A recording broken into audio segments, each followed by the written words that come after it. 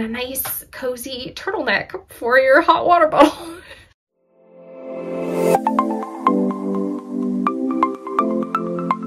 Welcome to my channel. My name is Amanda and this is Birch and Lily where I talk about all sorts of fun crafty stuff. Today is another video in my pattern series. I'm going to be bringing you a whole bunch of free patterns that only use one skein of yarn today. A lot of great stash busting patterns or patterns to use up scraps of yarn that you have lying around. So before we jump on in, there are a few places you can find me on the internet, mainly my website birchandlilyfiber.com and my Instagram birch.and.lily. Everything I talk about today will be linked down below in the description for you, as well as all of those places you can find me. So let's jump on in. I have this kind of sorted by um, like head, neck, feet, hands, that sort of thing. And I have pattern photos printed out for myself just so I know what the heck I'm talking about, mostly because I can't use my computer to look at stuff because it's my monitor. Um, but that's that's besides the point. So let's jump on in. First, we'll start with patterns that are great for your head. So I have a hat pattern and a headband pattern. We'll start with the hat. This is called the Tiilda hat. It's a pattern by Inese Sang. Um, and it is a pattern knit out of bulky weight yarn. So this would be a great one to knit up if you needed a really, really quick gift knit. It only comes in one size, unfortunately, um, for an adult head circumference of approximately 22 to 23 inches or about 56 to 58 and a half centimeters. But the pattern, I do believe, came with instructions on like how to easily change your gauge so you can adjust that size a little bit. So I do appreciate that at least. And it's a free pattern, so you can't expect too much out of a free pattern. But this hat is beautiful. It has the most chunky, squishy looking braided cables in it. Um, so fast knit, but still like really striking and beautiful. I think it would make it fun to knit as well too. Minus the fact that of course it's going to knit up so fast because it's bulky, but I think just the squishy cables would make it really, really fun to knit. Um, and it does in the photo have a pom-pom on the hat, but I'm sure if you did not want a pom-pom, it's very easy to just not put a pom-pom on it. So a beautiful, beautiful hat pattern and a great gift knit, I think, as well. A lot of these would be great gift knits, um, especially the ones that are knit up in thicker yarn. A lot of these are in um, like worsted and DK, and those would knit up so quickly and easily to give away as a gift. So that's another great thing about all of these patterns that I have pulled today. Another head pattern or another pattern in the head category, I guess, is the Glacier headband.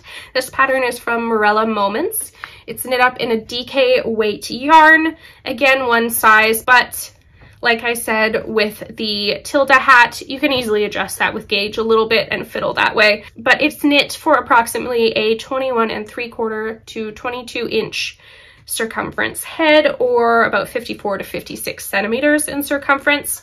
Um, something else that's fun about this pattern I noticed when I was looking at it there is also a cowl pattern in the exact same texture as this headband that's available. So if you wanted to make a matching set, you could also do that as well. Both patterns are free, so that's really fun. Um, but I love a headband with a twist in the front, and this headband has both that and a really neat mock cable looking pattern. It looks to me like, yes, so it looks like cables, but those cables are made by knitting lace so you're not doing any cables at all. So if you want the look of cables but you don't want the work of cables this headband would be a really really fun one to knit for that. But like I said the twist in the front is so classic and so cute. Um, so really great gift knit as well. Okay let's move on to patterns for like the neck. So I have a couple cowls in here. I have a shawl. Yeah a couple cowls and a shawl. So let's jump into one of those cowls. This is called the Little Creek Buff, a pattern by Jacqui Verbeek, and it's knit up in DK weight yarn. Um, again, we'll only use one skein. Like I said, all of these patterns should only use one skein. This does only have one size, but it's a cowl.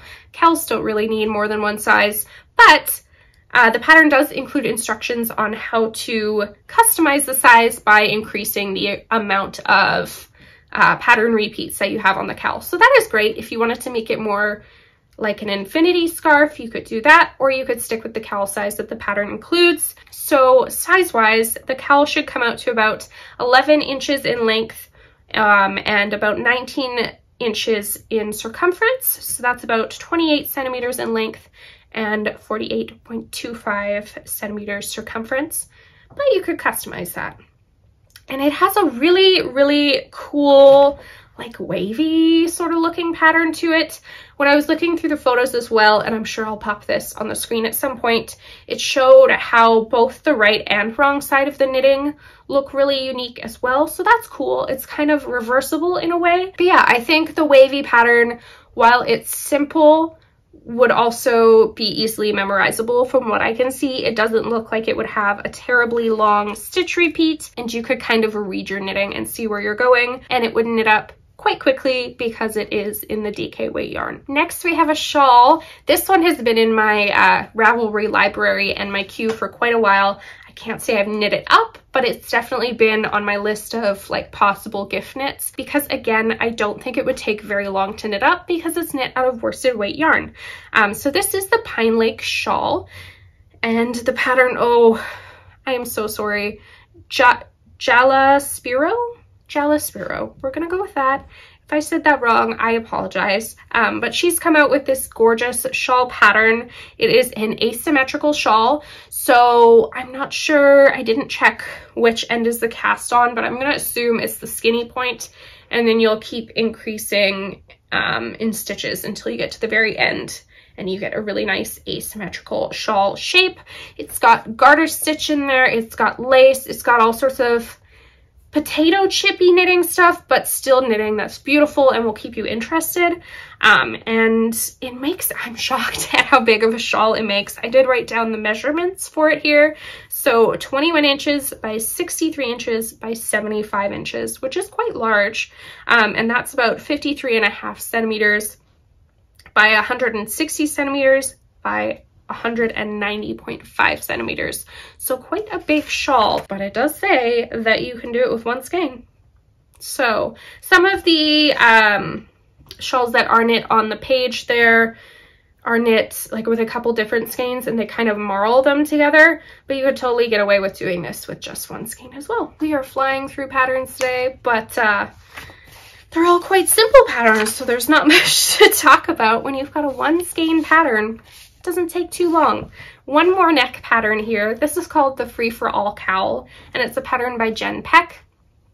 And it has the most beautiful chevron pattern to it. Um, with lace details and it's just really really pretty. This can be knit up in either worsted weight yarn or it gives instructions for fingering weight yarn held double as well.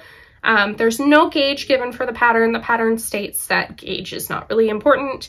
You kind of just knit until you run out of yarn. So that's kind of fun too. There's not too much math that has to be done knitting up this pattern. And knitting this, you're going to end up with a cowl approximately 9 inches in length and 24 inches in circumference, or about 23 centimeters in length and 61 centimeters in circumference. So another really fun quick knit, a great gift knit, a good stash busting knit. I love one skein projects. I love not having to think. I love pulling a skein of yarn off my shelf, casting on, and just knitting. so great, great pattern. I was able to find one beautiful pattern, a pair of mitts. These are the garter stitch mitts, a pattern by Ysolda Teague. I love her patterns. If you haven't knit the Musselburgh hat, it's a good one. Also a one skein project, a great project to use up one skein of fingering weight yarn, but it's not free.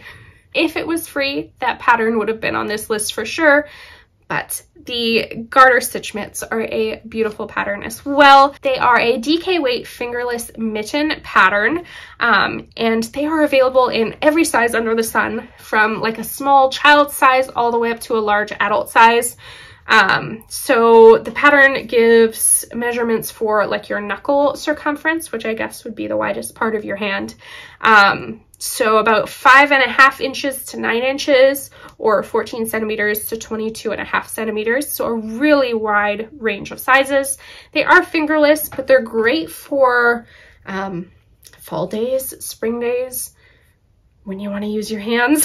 um, but the pattern also did state, which I thought was great, that it's a good way to learn how to knit short rows. So there must be a little bit of short rows included in the pattern, but because it's such a small project, if you mess up, You don't have to feel so bad about ripping back.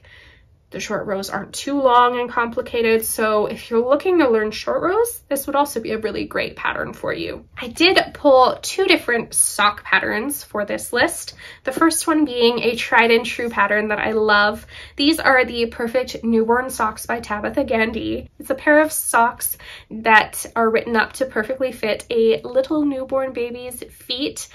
They knit up so fast. I knit these for literally every person I know who has a baby. Um, and of course, they use up very, very little yarn. Um, so this is a fingering weight pattern. It does only come in one size, but because it's for a newborn baby, that makes sense. Um, and it comes with a couple different options as well for the pattern. So you can do just a ribbed version, like a plain ribbed version or a cabled ribbed version. So a couple different options there. Very, very cute so tiny, um, but a really great way to use up scraps. You don't even need to use a full skein of yarn.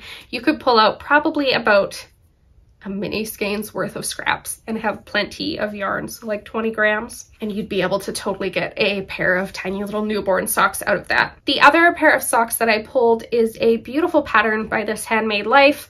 Her sock patterns are gorgeously written. These are the Cozy Autumn socks, and they are knit out of fingering weight yarn as well.